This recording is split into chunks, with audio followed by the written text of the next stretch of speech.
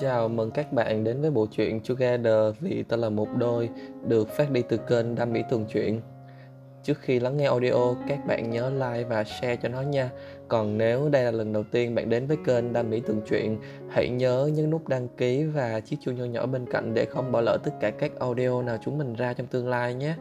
Còn bây giờ, mời bạn đến với phần 2 của chương 21. Tôi cố định chiếc hông trắng nõn, sau đó bắt đầu cử động, đâm vào thật mạnh rồi từ từ rút ra, sau đó lại tiếp tục đưa vào với lực mạnh hơn. Ồ hô, lần này thì bạch bạch bạch bạch chắc luôn. Người trong tư thế bò bật ra tiếng rên khô khóc, hai chân nó run rẩy. Tuy nhiên tôi không có ý định dừng lại mà tiếp tục đưa vào, sau đó từ từ gia tăng tốc độ. Thằng thai chống một tay lên nệm, tay còn lại nắm lấy cánh tay đang đặt ở chiếc hông trắng của tôi như cầu xin sự tội nghiệp. Hai bên đầu gối chống đỡ thân hình trắng nõn, yếu đến mức gần như nằm sập xuống giường. Lỗ nhỏ ấm nóng bị dày vò khiến tâm trí tôi điên loạn, mãi cho đến khi tôi cảm nhận được một dòng chất lỏng không phải gây bôi trơn chảy ra, chất màu đỏ dính trên bộ phận của tôi khiến cho mình nghĩ muốn làm thật nhanh bỗng chốc suy yếu. Tôi khẩn lại một lát, rút ra để cho đối phương chuyển sang nằm ngửa, tách hai chân rồi đút vào thêm lần nữa. Ừ, cắn vai tao, cắn vai tao này, không sao đâu, nếu mà đau thì cắn vào vai tao. Tôi khom người, nhẹ nhàng đặt nụ hôn lên đôi mắt còn hoang lệ rồi ôm của người trong lòng ngực. Thằng tai dù run bừng bật vẫn vòng tay ôm lại tôi. Răng nanh vốn dùng để cắn môi mình, giờ chuyển sang giải tỏa lên vai của tôi thật mạnh. Tôi nghĩ nó sẽ để lại dấu một thời gian khá dài đây. Tôi cứ từ từ cử động thêm lần nữa trong tình trạng chúng tôi vẫn ôm chặt nhau. Tiếng nỉ non ban đầu còn lộ ra vẻ đau đớn giờ đã biến thành ngọt ngào khiến tôi bất giác mỉm cười trong sung sướng. Cháu nhỏ, sao lại đáng yêu thế này? Tôi nói bằng giọng khàn khàn, mồ hôi chảy khắp người, tuy vậy không có ý định dừng lại. Ừ, ừ, nhẹ chút đi mà. Ừ, tao nhẹ rồi đó. ừ, nhẹ, nhẹ hơn nữa được không? Cuối cùng còn bật ra tiếng rên vì lực đâm của tôi. Ờ, thằng thai vẫn chưa hài lòng nên tôi xoay người đổi từ ở trên thân hình mảnh khảnh sang ở một bên. Tôi ôm nó để cho đối phương ngồi lên phía trên. Thích kiểu nào ta cũng chiều mày hết đấy. Đời này của tao xem như là toại nguyện, vợ tao on top, mẹ nó, tìm suýt rớt ra khỏi lồng ngực. Thằng thai vẫn ôm tôi, nhả hàm răng nanh găm trên vai tôi hết lần này đến lần khác ra, rồi úp mặt đến nỗi vai tôi dính toàn nước mắt. Thai, không biết làm, ừ, tao không có biết làm. Chính vì thế này nên tôi mới muốn treo, tôi giả vờ không chịu giúp, đã thế còn đổ thêm dầu vào lửa để cho nó cháy bùng lên. Vậy tao làm mạnh nha. Ừ, không chịu đâu. Không chịu thì tự làm đi, lớn rồi, tao không muốn nhắc lại đâu. Gương mặt đỏ bừng trắng trợn nhìn tôi một cách phẫn nộ. Sau đó nó dùng chút sức lực ít ỏi để ôm tôi Rồi chậm chậm nhấc người lên trong tư thế hai chân run rẩy. Nước mắt lại bắt đầu chảy làm tôi phải lau giúp đi. Vừa tội nghiệp vừa muốn trêu đùa. Trời ạ. À. Bình tĩnh bình tĩnh Từ từ hạ người xuống. Ờ, Đau quá à Chảy máu nữa nè. Ừ. Ngoan đi Mốt tao dắt đi ăn bingsu Cho mày ăn ở tiệm mới luôn. Người ta bảo là ngon lắm đấy. Tan ăn rồi.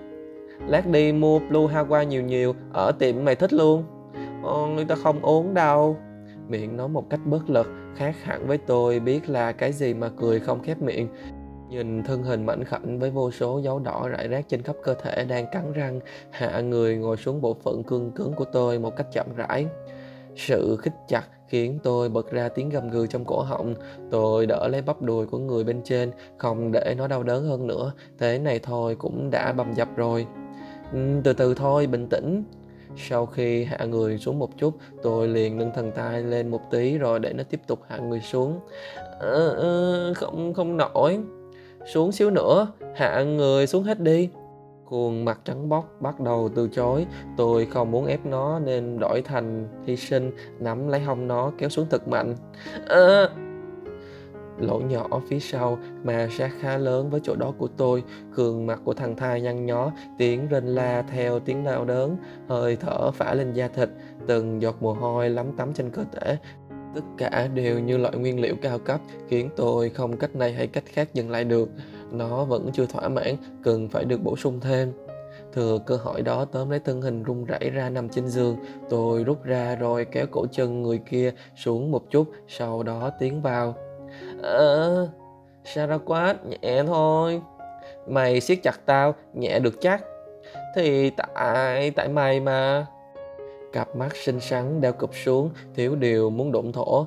Tôi luồn tay xuống khớp gối, kéo cái thân hình của thằng Thanh lại gần hơn trước khi dùng sức ứng tới tấn lui để nơi nó sâu nhất. Toàn bộ sức lực tôi dồn xuống hết người dưới thân, lần này tao vừa yêu vừa dâm dê thật luôn. À, sợ ra quá. À...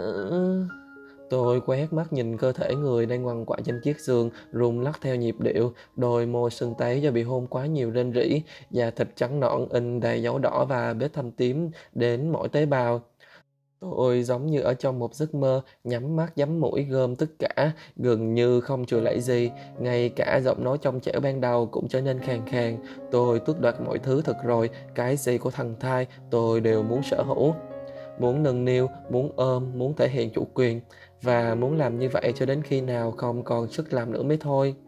Sao đâu quá, ừ, tao không nổi nữa rồi.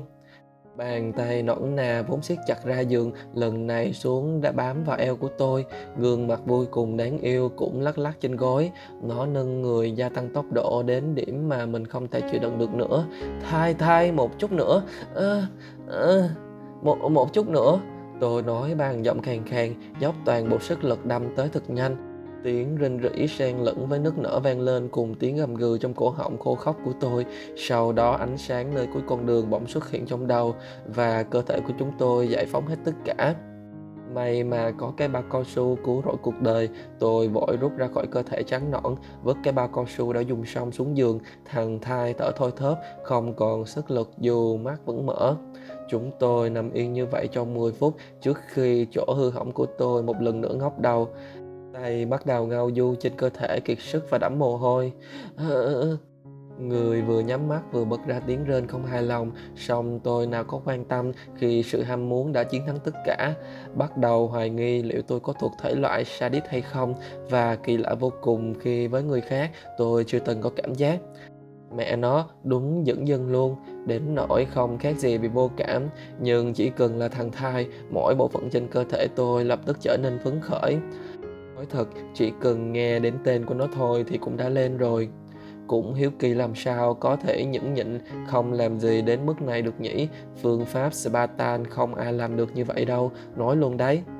Ngay từ đầu đã đặt mục tiêu là muốn liếm thằng gây phiền nhiễu này từ bóng đến ngón chân. Vậy nên nhiệm vụ của tao không thể bỏ lỡ, vội rướng người tới làm loạn trên thân hình mảnh khảnh, hồn nó từ ngón chân cho đến tận mặt mũi cầm bộ phận chính giữa của thằng tay trong tay trước khi ra sức chuyển động. Shadow quát ừ, đủ rồi.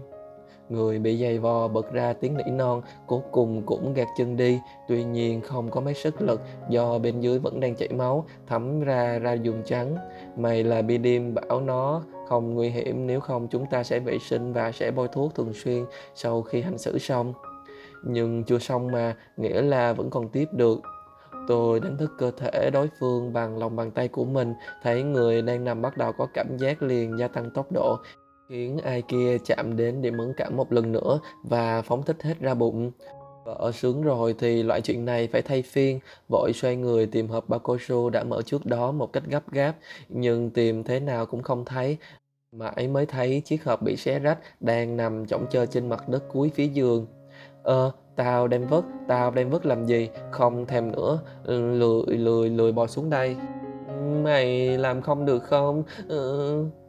Chỉ vậy thôi, tiếng rên ỉ ôi đến lạc cả giọng vợ ăn đến màn nhĩ, sắp khóc nữa rồi đây. Tôi nhân cơ hội cưỡng hôn nó một lần nữa, bắt đầu lại để tất cả vào dỗ dành và thoa gheo bôi trơn lên. Lần này không khác lắm, từ thế nào thằng thai than đau, bảo không thích, tôi liền cưỡng ép và làm ngay. Bắt đầu từ lực người đang nằm khóc sắp khác một chân lên vai đưa người vào vị trí chính giữa giữa hai chân trước khi ấn chỗ đó của tôi vào bên trong. Ờ, ờ. Thằng tai không chỉ rên nó còn thò ra một tay nhéo chân tôi đến tương máu. Tôi chả chấp nhất làm gì dù đã dọn đường trước và yêu xong một chập, thế mà thằng thai vẫn chật như vậy. Mọi thứ mà cơ thể cảm nhận được với người thân bên dưới càng kích đến mức không còn khoảng cách. Tiếng đưa đẩy vang vọng khắp phòng, đàn sang là tiếng nỉ non khe khẽ. Tôi sướng đến mút suýt nghẹt thở, chẳng biết nó có thể gọi là gì nữa, vừa tội nghiệp vừa cưng chiều người nằm đang chảy nước mắt ở bên dưới, song tôi không thể ngăn hành động của bản thân mình. Thằng thai cũng không khác gì bởi chính nó cũng không thể hiện rõ được cái khả năng tiếp tục phản kháng hay mặc kệ để tôi làm tiếp. Và chắc chắn rằng dù có cấm cản tới đâu tôi cũng sẽ không dừng lại. Mồ hôi đầm đìa khắp cơ thể, tôi đâm vào nhanh và mạnh, đi vào nơi sâu chính là phương pháp đậm chất Spartan đến mức không còn chỗ nào để nghỉ ngơi, sau đó từ từ giảm tốc độ rồi ngừng lại một lúc, sau đó rút ra khỏi cái lỗ nhỏ. Đem thân thể kiên sức ẩn đỏ nằm xuống phía dưới giường, tôi quỳ gối xuống mặt đất. Kéo khủy gối chân của đối phương gác lên vai đưa vào bên trong lỗ nhỏ một lần nữa. Tiếng rền cô khóc vang lên ngay khi cơ thể tôi cử động và chạm vào nơi sâu nhất. Gương mặt trắng bóc mở mắt mơ hồ nhìn tôi với nét mặt đau đớn đang sang với thỏa mãn. Đôi môi bị hôn hết lần này đến lần khác khé mở để giải tỏa nỗi đau. Nó bấu ra giường thật chặt khiến cho tôi thấy tội nghiệp sợ rằng cổ tay co cứng sẽ làm nó đau về sau, và dù cảm thấy như vậy, nhưng lạ làm sao, tôi không thể ngừng cử động cơ thể mà chỉ đắm chìm vào từng chuyển động chậm rãi, nhưng đồng thời cũng rất mạnh mẽ. Hai tay tôi nắm lấy chiếc hông mềm, giữ không cho chủ nhân thân hình nhúc nhích, sau đó dùng toàn bộ sức lực đẩy cơ thể của người bên trên, giường lắc lư theo nhịp điệu. Người mày đợi hết đời này, thai. Tôi nói bằng giọng khang khang, nhìn chủ nhân của cơ thể ấn đỏ trong tầm mắt. Ờ, xa ra quá. Trời ơi, tại sao mày lại đáng yêu đến như vậy chứ hả thai? Tao không nổi rồi. Tôi thích nghe tên mình phát ra từ miệng của nó, thích khi nhìn thấy nó rinh rỉ, tên tôi hết lần này đến lần khác, trong khi hai chúng tôi vẫn đang gắn kết với nhau. Chúng tôi có nhau và tôi sẽ không bao giờ buông thằng thai ra cho bất cứ ai. Ờ, tao yêu người tao yêu lâu rồi, tao ấp ủ, đợi ngày này liếm nó mãi, vì vậy nên ai cũng không được phép động đến, chỉ mình tao được chạm và chỉ mình tao được yêu mà thôi. Thằng Men từng nói với tôi khi yêu một người có bao nhiêu sức lực tung ra hết. Và người ngay thẳng như tôi một khi đã làm gì mờ ám với người yêu thì không chỉ ở mức ok nó phải là thực nặng. Cử động tư thế thế này được một lúc thì tôi dừng lại, sau đó ẩm người gần như bất tỉnh trở về giường trong bộ dạng cơ thể vẫn đang giao hợp. Tôi ôm cả người nó, một cái ôm vừa yêu thương vừa lo lắng, cứ không ngừng niệm chú an ủi mình hết lần này đến lần khác bằng một câu Mày chết chắc, bầu trời nhuộm vàng chắc luôn. Nghe xong thằng thai liền khóc bù lu bù loa Tôi cũng đã hy vọng đến viễn cảnh đó rồi Sinh ra đáng yêu, đáng ghẹo thế này Chắc ai bây giờ đây Đôi môi nóng bỏng chạm lên đỉnh đầu đó rồi chuột xuống môi, hôn lên hai khóe mắt, từ từ dần dần xuống hai gò má trước khi chạm vào nôi voi mềm, rồi chậm rãi kéo xuống hôn cổ. Đúng là liếm cho ngất thật mà, mà giờ nó ngất rồi thì người như Sanaquat phải lặp lại. Ra, ra cùng nhau nha. Ừ, cố cố gắng cùng nhau đi. Tôi chỉ nói như vậy trước khi bắt đầu cử động, bộ phận cương cứng một lần nữa biến mất trong cơ thể thanh mảnh. Hai tay ôm thật chặt, không có ý định buông. Thằng thai nép mặt vào vai của tôi cùng với tiếng lên ư a mà nghe thế nào cũng đúng hay. Người ta từng bảo rằng bản năng của con người dù có trải qua chuyện mạo hiểm nhiều đến đâu, cuối cùng chúng ta cũng dừng lại với việc làm chuyện bình thường như thế này. Đây này, định kết thúc bằng tư thế Spacit cấp độ cơ bản trong những bộ phim xét huyền thoại. Ờ, xã ra quá.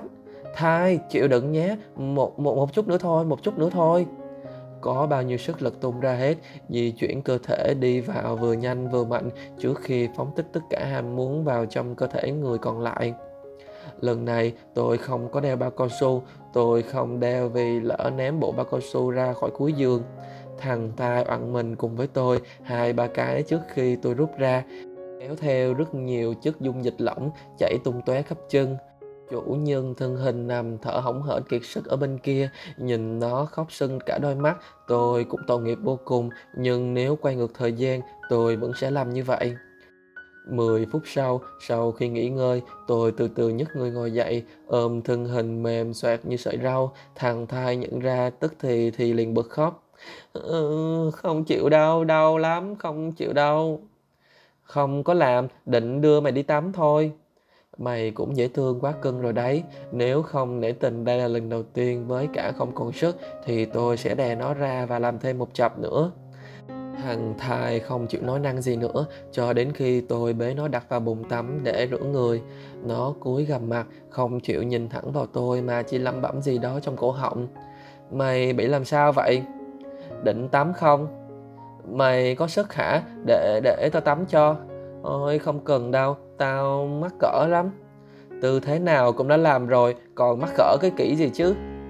sao đo quát mày đúng là đồ đểu đấy." Thấy chưa, làm vợ rồi nên cái gì cũng không cấm được. Thằng tai đẩy tôi bằng sức lực ý ôi còn lại, đã thế nước mắt còn rưng rinh kích thích sự chú ý. Là sao ta, muốn tắm cho mà lại đuổi tao đi như thế này hả? Tự tắm được hả? Ừ, tao đợi ở ngoài nhé. Nếu im lặng lâu, tao vào chắc luôn đấy. Tất cả đều đã được tính toán trong đầu, nếu thằng ta im lặng, tôi sẽ xông vào ngay, rồi thì nằm ôm thằng ta trong bồn tắm, giấc mơ với thực tế, trời ơi lại là bị vợ đuổi. Phải rồi, có tao được rồi mà, ăn tao rồi nên muốn bỏ rơi tao chứ gì, là tôi bạn sẽ hiểu. Đành tự bỏ rồi đi ra khỏi phòng tắm, lấy khăn tắm quấn quanh eo rồi đợi thằng thai tắm xong rồi vào tắm tiếp. Không những vậy, còn phải đưa nó ra nằm, dỗ cho nó ngủ say tôi mới an tâm. Trong lúc đó, tôi thay ra giường rồi chờ đợi một cách bình tĩnh. Bình tĩnh, đây mới là 5 phút thôi, người đợi ở bên ngoài đúng lo lắng, tìm muốn vỡ luôn, không ngừng đi tới đi lui cho đến khi nào thằng Thai lên tiếng gọi. Thai, Thai! Cuối cùng tôi cũng không đủ sự kiên nhẫn, không có tiếng đáp. Thai, mày tắm xong chưa? Thấy mẹ rồi, vợ không chịu trả lời, không biết nó ngủ hay là bất tỉnh trong bồn tắm nữa đây. Nỗi lo dâng lên trong tim khiến tôi không thể nào đứng yên được nữa. Vội nhanh chóng sải bước tới phòng tắm.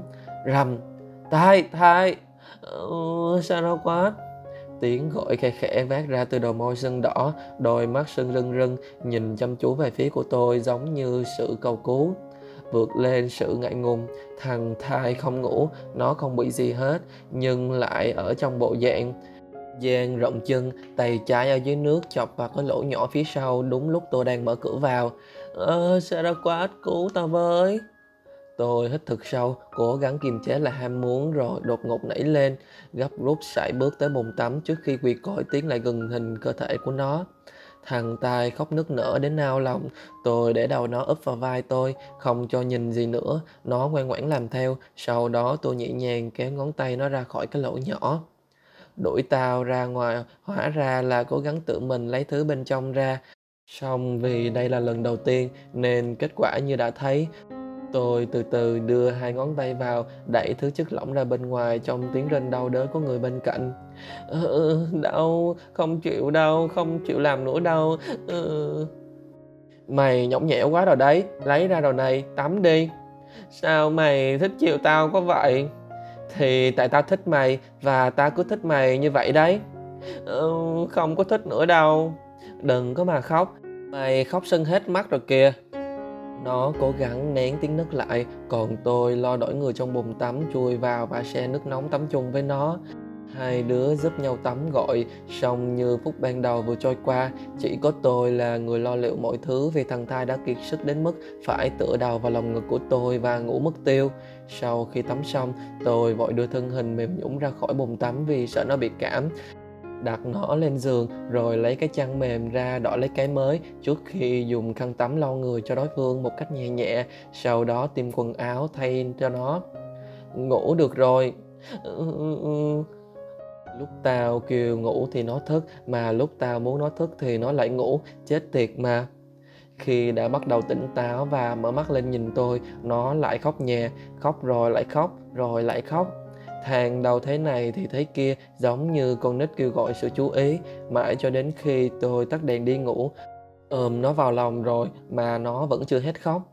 Hai mắt sưng như trứng ngỗng rồi này tao không chịu được đè ra làm nữa bây giờ cho mày khóc không ra nước mắt luôn ha. Tóm lại là buồn ngủ hay là mày khóc đây? Ừ, buồn ngủ. Thằng tai đáp xen lẫn tiếng nức nở, tôi hôn lên tóc để nó dỗ cho nó ngủ, xong thằng này nó vẫn không ngừng khóc. Còn chưa ngừng khóc nữa, muốn ăn đòn hả? Ừ, thì đau mà, đau khắp người luôn nè. Ờ, vậy thì khóc đi, cho nước mắt ngập tràn cái phòng này luôn. Ừ, ừ, ừ, im đi mà. Ừ, đau. Nhõng nhẽo làm gì, phiền phức ghê á. Ừ, ừ, ừ. Im đi, châu nhỏ, tim muốn vỡ rồi đây. Chỉ thế thôi, ngừng luôn. Tôi xoa đầu thằng thai, nó cũng cố gắng nén lại tiếng nức nở của mình, mãi cho đến khi âm thanh ấy lắng xuống, chuyển qua thành tiếng hít thở đều đều.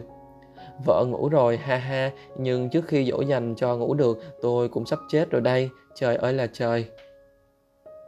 Đến đây thì phần 2 của chương 21 đã kết thúc rồi. Nếu hay các bạn nhớ like và share cho nó nha. Còn nếu đây là lần đầu tiên bạn đến với kênh Đam Mỹ Tuần Truyện, hãy nhớ nhấn nút đăng ký và chiếc chuông nhỏ nhỏ bên cạnh để không bỏ lỡ tất cả các audio nào chúng mình ra trong tương lai nhé. Còn bây giờ, xin chào và hẹn gặp lại. Bye bye!